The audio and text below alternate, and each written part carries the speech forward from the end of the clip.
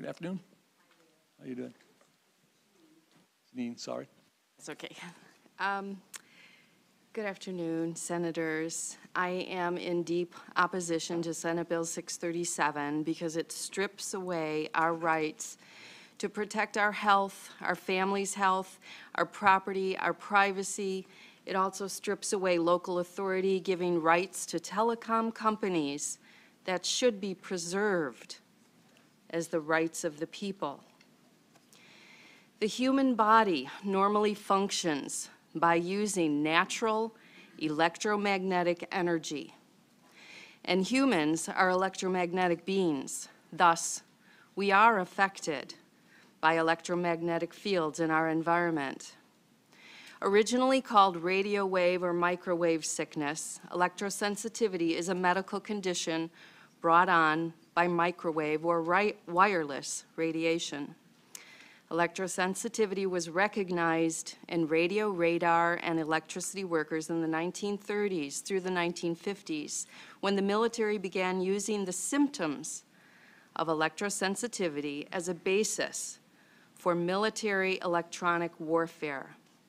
Currently, the U.S. Army uses microwave radiation, 95 gigahertz, that's just 5 gigahertz up from uh, the wireless spectrum that this technology, that this, these uh, small cell wireless facilities uh, will enable. Uh, The U.S. military is using 95 gigahertz as a biological weapon called the active denial system, and you can all Google that if you want to know what, more about that. In the 1960s and 70s, it was discovered that microwaves have an effect on hearing, the blood-brain barrier, suicide, and cancer.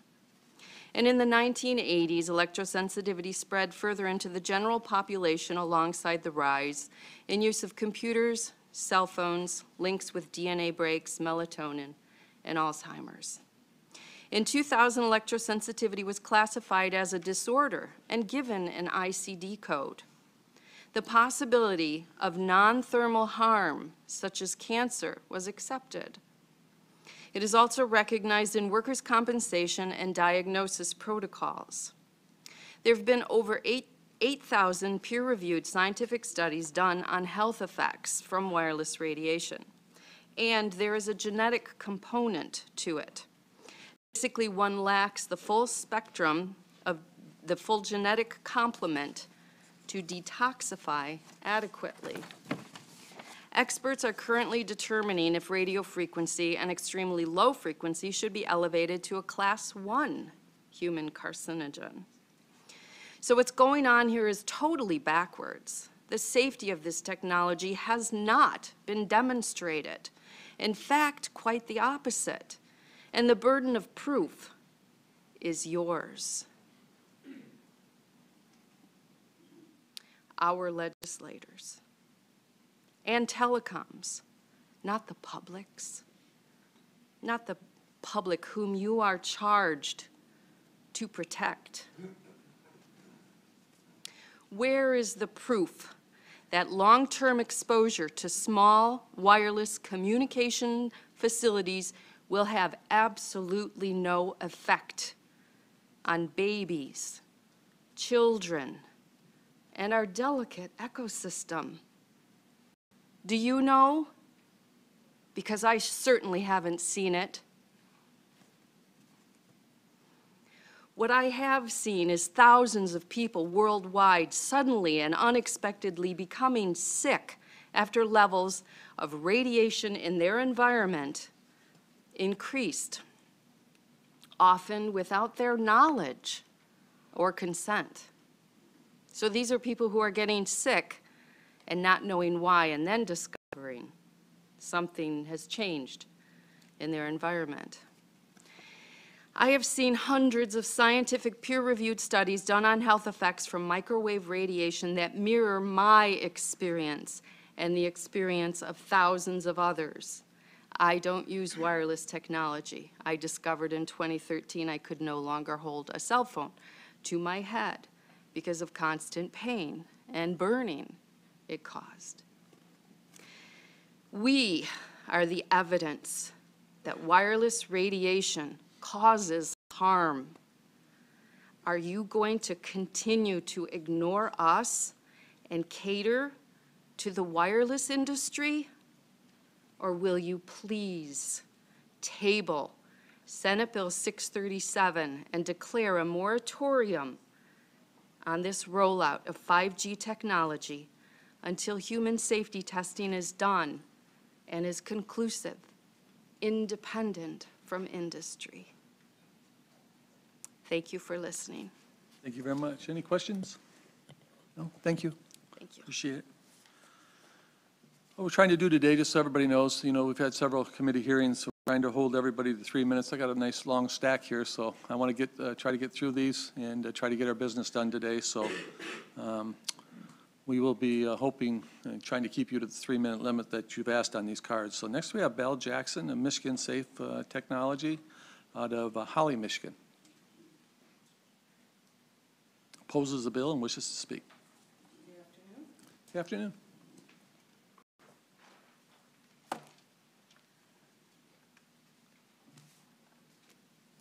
On February 27th, I mailed a letter via the Postal Service to every single Michigan legislator. I know you all got it because I already got a reply from one of you.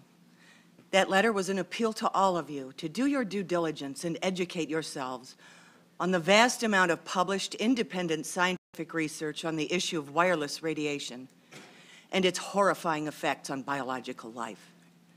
The science is coming in now. Independent studies, not corporate-funded studies. Independent studies that you owe not only your constituents, but yourselves, your families, to become familiar with and take into consideration before any bills are passed that allow for the rollout of 5G. This bill does not need to be passed now. This bill should not be passed in its current form because it does not address the issue of public safety nor does it make any accommodations for those who are sensitive to and suffer from wireless radiation fields. If you read the article 5G from Blankets to Bullets that I attached to my letter, you will see that 5G is going to exponentially increase the radio frequency fields, and none of this technology, including what we are currently living in, was ever properly independently tested for its health impacts on biological life. Tom Wheeler, the head of the FCC in 2016, announced the rollout of 5G at a press conference on June 20th of that year. To quote him, quote, "Stay out of the way of technological development. Unlike some countries, we do not believe that we should spend the next couple of years studying what 5G should be or how it should operate.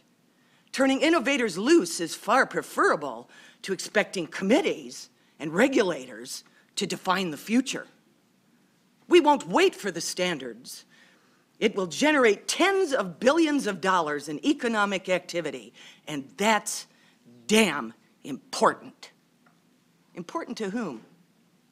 The people sitting in the boardrooms of the telecom industry? If you pass this bill in its current form, you will be subjecting yourselves and your families to be test subjects for a technology that has never been tested. Why is the federal government and big telecom in such a big hurry to roll this out? Is it for the money? Do the federal government and multinational corporations have the right to put pressure on you to represent their interests over the interests of your state and your people? They do not have the right to coerce the states into accepting this untested technology, and the states need to stand up to them. Those of us opposed to this bill are not your adversaries. We are just people who have been interested enough in this issue to study it, to come to the understanding that this technology, in its current form, is a potential disaster for life as we now know it. Please, please table this bill and just take the time to educate yourselves on the potential health, safety, and privacy impacts of this untested technology. Thank you. Thank you. Any questions? Thank you, ma'am. Next, we have uh, Karen, is it Strode, uh, from Ypsilanti. Opposes a bill and wishes to speak. I think what I'll do too, when we're getting close to three minutes, I'll let you know you got about 30 seconds to wrap it up if you would, so we can get through to everybody, okay? Good afternoon. Good afternoon, ma'am. Thank you very much for the opportunity to speak. Thank you for coming. Uh, I'm a registered pharmacist. I work for a university. Um, I coordinate financing uh, clinical cancer trials. Um, I'm here today representing a group of citizens who will not benefit from wireless 5G networks and will instead experience severe and debilitating health effects from this technology. I was diagnosed with electrical hypersensitivity in 2012, and I've included a letter from my doctor documenting my diagnosis. Uh, I experience head, neck, and chest pain from Wi-Fi, smart meters, cell phones, and cordless phones. My doctor recommended that I transform my home into a safe haven, and it is for this reason that I'm able to heal and to be here today. We removed all wireless technology and have a hardwired internet connection for computer and TV. Our smart meter has the radio function turned off. Uh, The nearest cell tower is a mile away. This bill will bring powerful and untested infrastructure to every residential street, including mine. My physician mandates that my residents be free from this ra- radiation. However, the 5G installation at the streetlight in our front yard will make it impossible for me to live there. Are you willing to amend SB 637 to include provisions for medical accommodation for people like me with electric, electrical hypersensitivity? This is crucial. On another point, the bill says that uh, the goal is to provide better access to emergency services. We can learn from what California residents are saying about 5G after the wildfires last October. After 77 cell towers were destroyed, city residents demanded not more cellular options, but landlines as a reliable option in a power outage. Wireless Nixle alerts and all other wireless means of communication instantly went down after this disaster. Uh, The equipment cabinets found next to every 5G utility pole contain lithium-ion batteries stored as backup power, and these may explode in any fire. The California residents wanted infrastructure underground, fiber optic internet to every home. And in this case, the 5G equipment proved useless and possibly even hazardous in the, in the disaster. How is 5G going to help us in the event of a power outage? Respectfully submitted. Thank you. Thank you, ma'am. Appreciate it very much. Uh, Mike Watza from uh, Bloomfield Township and, is it Grosse Pointe City, Detroit? Opposes the bill and wishes to speak. Good afternoon, sir. Good afternoon, Senator, How are you? members of the committee. Make sure you pun- push the uh, button in, in your. Thank little- you. There you go. Thank you. Yeah, I represent uh, PROTEC, which is a consortium of 60 or so cities around the state, as well as some townships, uh, and then Grosse Pointe City and Bloomfield Township. Senator, Mr. Chairman, you've, you've received some of our written materials, and uh, I gather that you've paid attention to, to those, uh, because I know that there have been some changes, and I'd like to thank the committee and MML and MTA for working so hard on those things. But I guess the reason I'm here is that there's still some things that we really need to do to try and improve this bill if it's going to go forward and actually become law. I'm going to be very quick. Um, First, there are still some 40 states, I might be off by one or two, that have not passed this sort of legislation. And of the approximate 20 that have had this kind of legislation proposed, only about 10 have passed it. Now, again, I might be off one or two, nice thing about telecommunications is it changes daily. But that's important to bear in mind. We don't have to do this. Uh, I would suggest also that local communities and uh, the industry have been negotiating for several years over a very complex set of issues. One of the things we've succeeded in doing, I think, is mobility. You may have heard, had a plan at one time to build 120-foot towers right in our right-of-way. And uh, that was a danger. And we convinced them of that, and they have backed off. They are not doing that anymore. And that's not because of any legislation. It's simply because of the give and take between the parties who are involved. The engineers who build the highways and the police officers who respond to accidents and so on.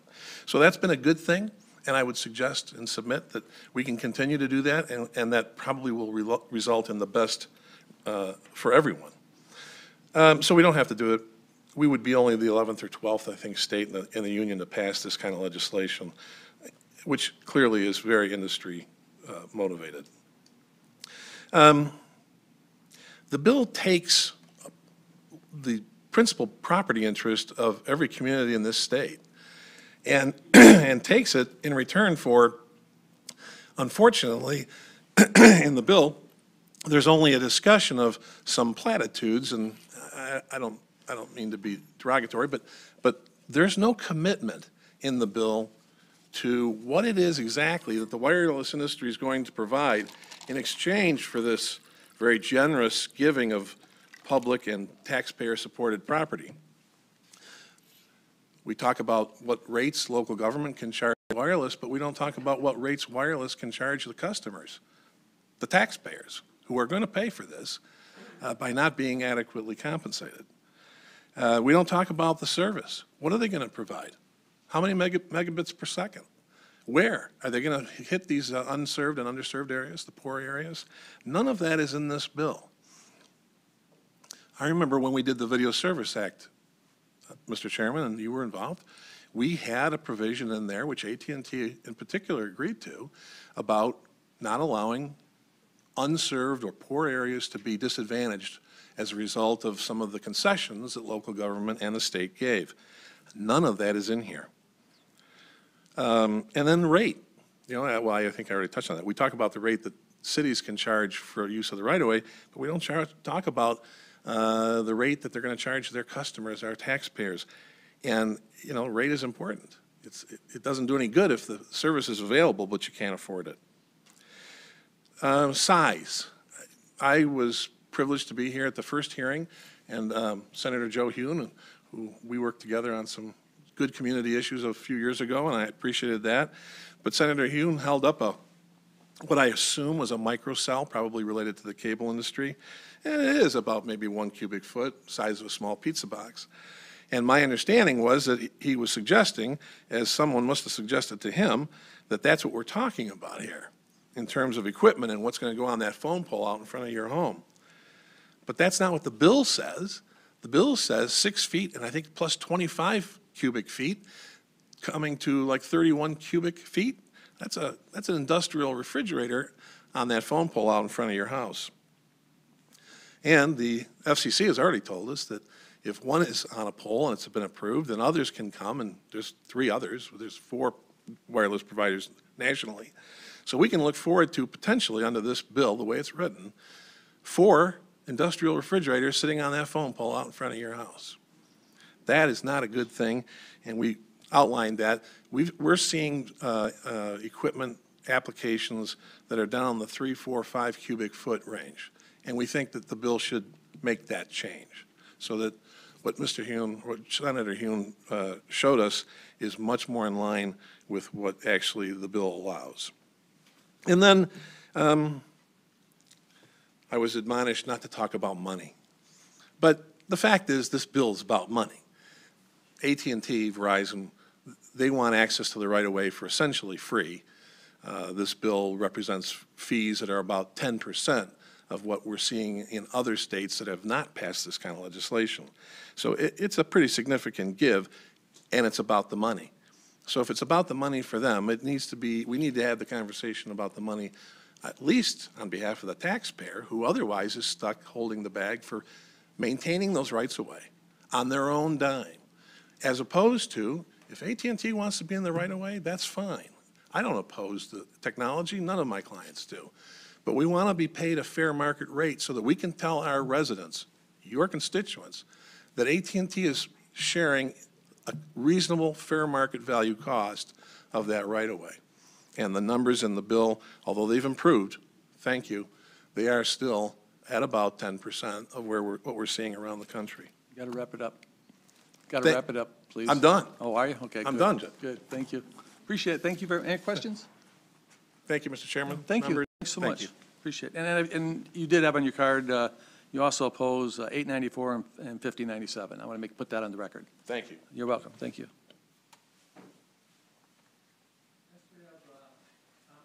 I'm sorry, next we have um, Thomas Strode. He's from uh, Ypsilanti also.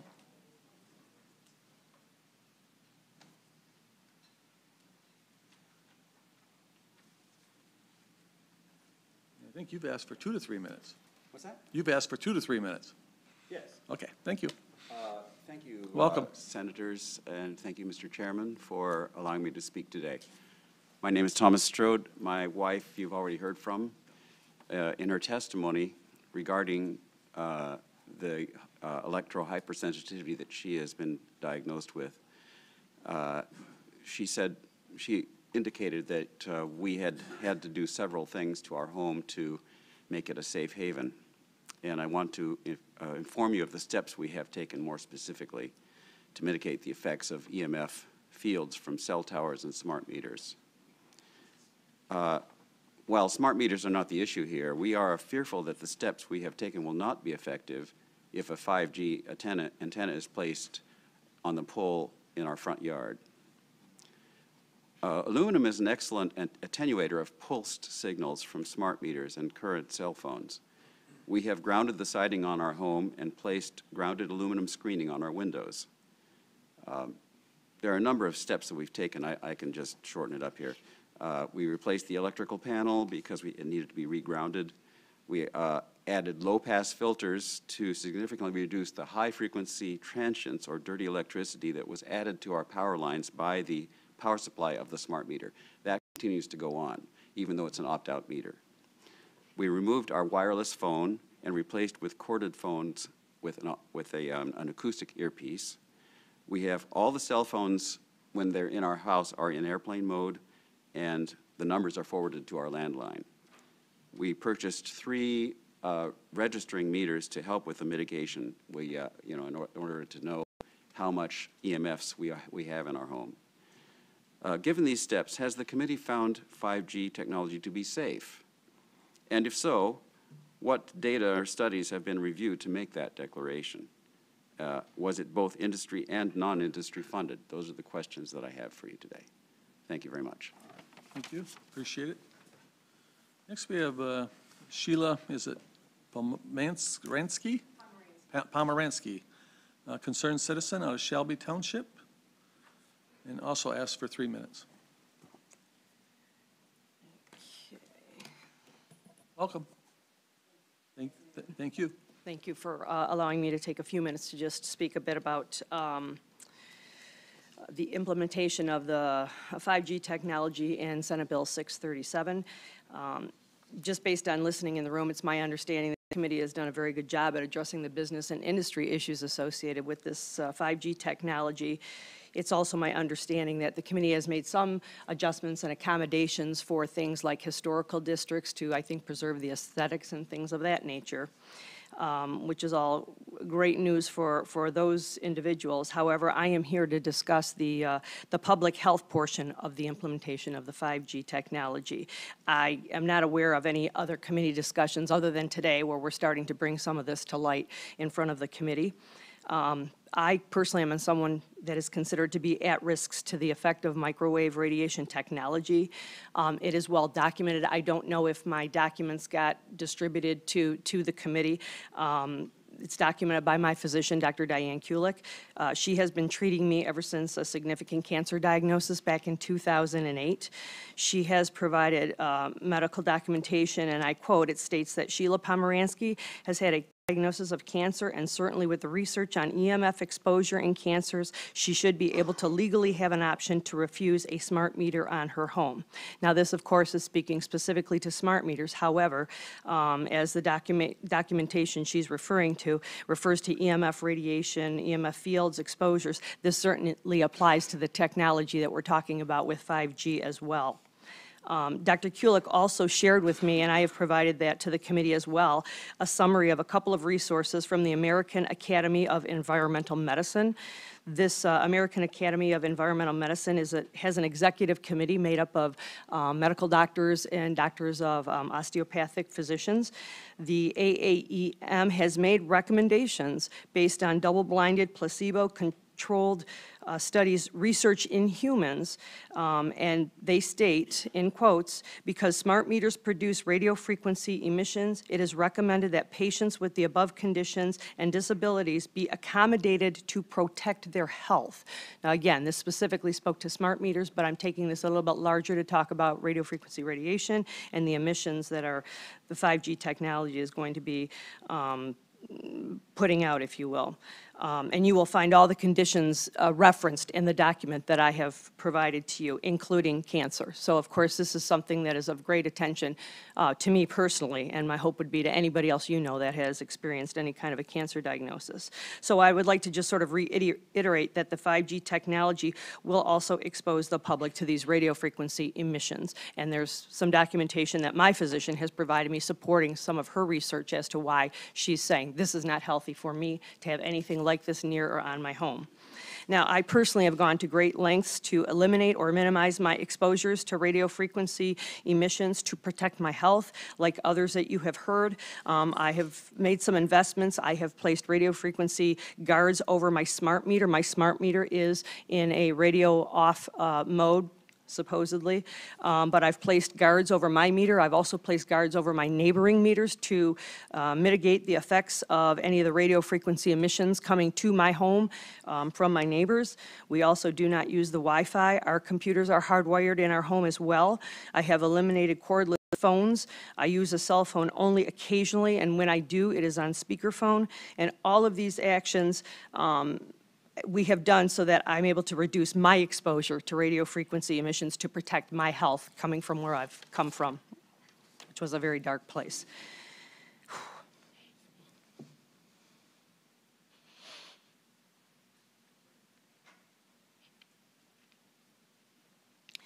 Given this information, you can see why someone like me or anybody else that has dealt with a cancer diagnosis has a concern over the implementation of 5G technology. My questions to the committee are, has the committee determined that this technology is safe? And if you have, what safety determinations were done? What kind of scientific or medical background did these people do to make a determination that this technology is safe for me, for you, for your children, for your grandchildren? This technology is very controversial, and I believe we need to give serious consideration upfront to the review of the scientific and medical research studies and documentation. Many experts have determined that this technology is unsafe for human health, and I think the committee needs to take this into consideration. So I have a request. It's twofold. I request that this Energy and Technology Committee please take some time, take a pause, review the testimony of, and, and, and the documents that are available to people, and the hope is that we will be able to bring some more documentation to you to show you the medical and scientific inf- impacts of this technology. I'm not sure I understand what the rush is to push this through before people have had an opportunity to provide you some information to show you that there is danger to you and your families. And I also request that consistent with the American Academy of Environmental Medicine to provide medical accommodations to protect people at risk based on their studies. I believe that if we take the time up front to discuss this, it will be most efficient in the most efficient in the planning of the 5G infrastructure and the safety of the public. Thank you for your time. Thank you, ma'am. Appreciate your testimony. Thank you. Lori M. uh, uh, from uh, Milford opposes the bill and wishes to speak.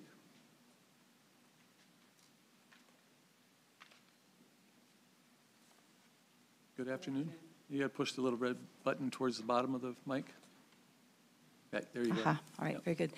Good afternoon. Good afternoon. Um, Much of what I wanted to say has already been said. I just want to uh, reemphasize what many people have come here to say. I too am electromagnetically sensitive. I've taken extreme measures to make my house livable. I too have a, s- a smart meter that's been turned off, the radio's off, and I have to sleep every night in basically a Faraday cage. If you ignore the requests here of the citizens who, by the way, you've got a, a provision right here on page three of the bill, uh, section number four, that this bill is supposed to protect the public health, safety, and welfare. Well, we're challenging you on that. There are many states who've taken a pause and said, wait, let's find out what real research says, non-industry funded research. If you choose to go ahead with this, you must make provisions for people who are medically intolerant of these radio waves. I've spent $1,000 on a, a, a cage that I can sleep under, made of fabric that doesn't allow these kind of radio waves. Shouldn't people who have medical needs and documentation for being sensitive to this have some sort of an accommodation? Shouldn't I be able to get a grant for the $1,000? What about people who've spent thousands of dollars, maybe tens of thousands of dollars, making their homes safe? Let's think about our needs and not just the financial needs of this industry. We're not opposed to technology. We want to see Michigan to be a technology leader, but not at the expense of your citizens' health and privacy and the other um, uh, aspects that this will damage us as well. Please take a pause, consider the evidence, really look at the medical evidence and the scientists that have said this could be dangerous, and think of ways, let the industry think of ways that we can still be a leader in industry and maintain our health. After all, as they say, your health is your wealth. Thank you very much. Thank you. Thank you very much. Next, we have uh, Dina Hilbert, um, is opposed to all three bills and wishes to speak, and she's from Rochester Hills, Michigan. Welcome, ma'am. Thank you. Well, uh, thank you um, for allowing me to speak. I'm not the best public speaker, but I'm trying to make this short. As you said, I'm opposing the three bills. I have a lot of concerns that um, this, this, these bills would impair the municipalities and citizens of Michigan to have a say in the rollout of the 5G infrastructure, especially related to health issues. Um, I'm concerned that there's a lack of consideration regarding to those who suffer from these type of illnesses and a disregard for the increasing um, body of science that's being brought forward regarding this technology. I've been a nurse for almost 40 years, and one thing I can tell you is people are sensitive to all kinds of things. Apples, hair dye, um, uh, I don't know, there's just, there's just all kinds of things. And you probably know, many of you may have a sensitivity to different things. If we look historically, lo- lo- look back at smoking and asbestos, if we had known before we went forward with that, just think of all the lives and the, the money we would have saved as a country, you know, regarding the illnesses that these things have caused. Um, So myself, I just was recently tested for 388 food sensitivities, and I found out I'm allergic to cashews, vanilla. Um, I've got, suffer from eczema this last year, but I'm able to accommodate my diet, so this is getting better. I'm starting to sleep better. I don't scratch in the middle of the night. For these people with these illnesses, um, if we have this constant radiation on their homes, you know, they're going to suffer from this greatly. I know people and have witnessed people that suffer from um, EMS sensitivity, rashes, um, rosacea, uh, can't sleep at night. I've known several people, and I just, I really think that we need to consider this in this bill. Recently, a Dr. Ronald Kostoff, who submitted testimony to the state of Maryland regarding a simple, similar 5G rollout bill, he provided many studies, which I've provided to the clerk some of his information for the record, that he's concerned about the health problems that we will all be um, dealing with in the future regarding the packets of non-ionizing, non-ionizing radio frequency that will be constantly bathing our homes 24/7.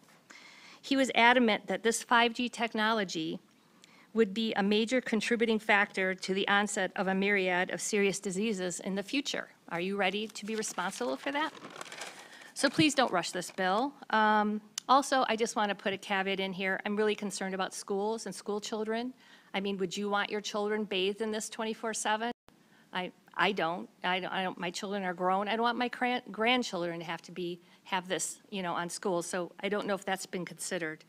Um, In closing, I have a question for this bill, Has any, uh, anybody on this committee that has reviewed this 5G data have a medical license in the state of Michigan or a scientific background? I look forward to your response. Thank you. Thank you, thank you very much. Next we have, is it uh, Ton Belliger from uh, South Lyon, Michigan? Opposes the bill and wishes to speak, and actually opposes all three bills that we're looking at today.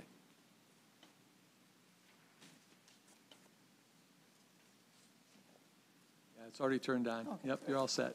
Thank you. Welcome. Hey, welcome. Thank you very much. Thank you. Good afternoon. Good Afternoon. As an elected representative of Northfield Township, I'm concerned with the the direction that this series of small cell infrastructure bills is taking. Now, I know there've been some adjustments and uh, trying to uh, accommodate some concerns of local units of government, but this- these bills still appear to be taking a uh, direction of trampling local authority. Now, in order to protect and ensure the best interest of constituents, non-essential infrastructure such as this needs to be controlled and authorized by the local governing units. The people need to have a voice,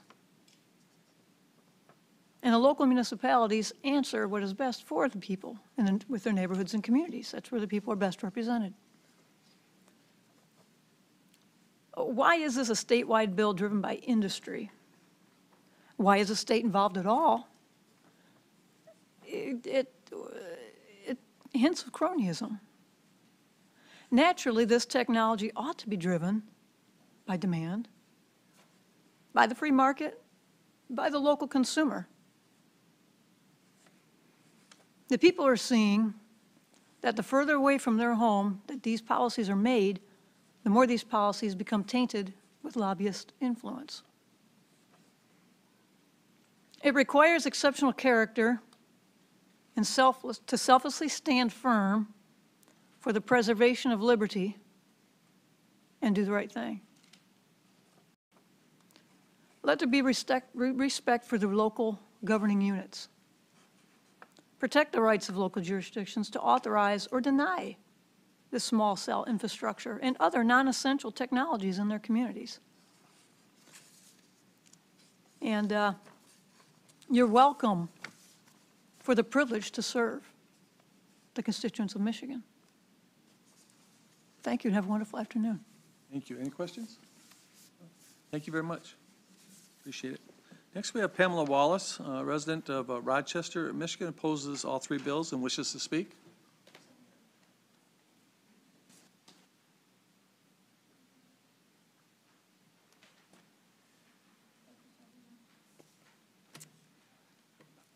Good afternoon, and thank you for allowing me to speak today. I'm here also in opposition of the three bills um, because, as they've been written, I don't see a commitment to the public health on the level that is warranted by the current research. I, too, am somebody who suffers from electrohypersensitivity. A lot of what has been said today, I'll echo. I've had to make great modifications in my life, but I also want to show you a little bit about what that looks like. So I'm going to do something a little unconventional. might notice that I've got little spots on my face, right here, right here. I'm going to show you a little leg, gentlemen. This is a rash that's from being exposed. It's a direct result of my being exposed to microwave radiation. And it itches, if you've ever had poison ivy, it itches probably about 100 times more than poison ivy. It wakes you up at night. I've had it covering my whole entire body. Okay, I go through times of remission, but it has covered my whole entire body. I know Senator Nofs, you had knee surgery. Thankfully, you were able to get some relief from a, a very difficult condition. Imagine not being able to. Imagine living in a world that has things in it, an environmental thing that's going to cause you to be sick and stay sick. And it goes a lot farther than a rash for many of us. It aggravates cancers, like we've heard. There are so many things that this brings to the table that have not been considered in this bill and have probably not been considered in this overall conversation to the level that is absolutely necessary. Um, There's a couple of studies, the uh, NTP study and the Ramazzini study that's coming out on March 22nd, that is, they're the largest study of its kind on this type of technology. Both of these studies point securely to this being a cancer-causing technology. You guys have to understand this is a higher frequency technology. It is actually more resembling X-ray technology and atomic technology. This is taking us in a direction that we've never been before, and there's really no going back on this. So there are some things that people brought up today that we can learn from other communities that have already implemented. There are lessons to be learned that we should be taking into very strong consideration. We should be building in best practice in the foundational pieces of this bill. So with this, I'm making a request that you allow the public to come forth prior to voting on any of these bills and provide you the necessary medical and scientific resources via PowerPoint. Allow us to make a presentation before you vote on any of these bills. We have scientists and medical professionals who are willing to bring all of the information you need for the public health portion to you, available to you. They're willing to do this via Skype. They're willing to come and testify. So my request is that you allow the public portion. I've seen that you've worked with other stakeholders, you've worked with municipalities, you've worked with the telecom communication, you've brought them all to the table. To my knowledge, the public has not been brought to the table at that level. And the public needs to be brought to that table at that level, because we're the ones, all of us, you guys too, that are going to be affected. And I'm going to close with saying that this impacts lives considerably. My dinner table conversation is, what other countries don't have this technology? Are we going to be leaving our families to just be safe? Just be able to live. When I go out of town to stay in a hotel, I have to see how close it is to a cell phone tower, if it has a cell phone tower. The reality of this is, is that it's nice to have internet that goes five to 10 times faster, but I don't need internet that goes five to 10 times faster at this cost. But what I need, and we all need, is our health. Thank you very much. Thank you, appreciate it.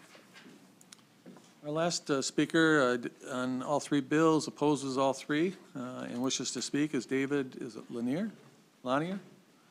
Uh, Utility meter choice for Michigan, Auburn Hills, Michigan. Uh, Three to five, or three minutes. Welcome, sir. Uh, Thank you.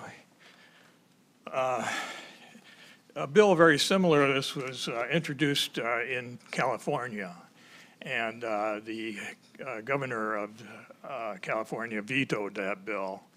And this issue has been addressed by a couple of the speakers before me, but it is control, local control over the uh, rollout of uh, this uh, technology. And the reason Jerry Brown uh, vetoed that bill is because of this, because in the bill, which is very similar to your bill, uh, the uh, local communities, the counties, the cities, townships, as the gentleman spoke earlier before, do not actually have enough uh, control over the, uh, the deployment of it. There's no telling what's going to happen at the local level. And it's very important, particularly in our structure of government, where we have a self-governing society, where people make the decisions as to what, to- what's going to happen, and they have, and they have a voice. This bill basically takes the voice away from the local governments, and it would be very useful to take that out of the bill, particularly, and another issue is uh, the amount of money it's going to cost, what it's going to cost to the local governments and to the taxpayers. This seems to be in the bill that there's a cap placed on the money that's going to be, uh, that the, I may be wrong on this, that the uh, uh, telecom companies are going to reimburse the cities for their, for whatever costs they're going to have. I believe there is a cap on it, I'm not sure, but there was, I believe, in the California bill. But at any rate, reconsider it, take that out of the bill, and also consider the health issues. That's very important to us, too. Thank you. Thank you, appreciate that. Seeing no other cards on uh, Senate Bill 637, I need a motion to adopt the S2 subversion of Senate Bill 637. So moved by uh, Senator Hune. Are there any questions or discussions? Senator Schuitmaker? Can I ask what the interplay is with regards to 1597 with the other two bills?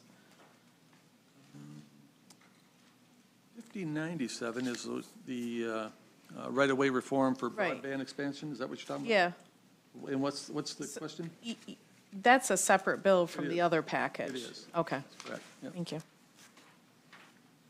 It just happens to deal with a sort of related issue, and so that's why we're taking it up today. uh, it passed the House and it came over, and so we put it on the agenda. Um, Any other discussion or questions? Seeing none, would the clerk please call the roll? Chairman Nofs, Yes. Senator Proos, Yes. Senator Horn, Yes. Senator Schuitmaker, yes, Senator Hune, Yes. Senator Shirkey, Yes. Senator Zorn, Yes. Senator Hopgood, Yes. Senator Knezek, Senator Conyers. Yes. Mr. Chairman, you have 10 yeas, zero nays. The substitute is adopted. Thank you.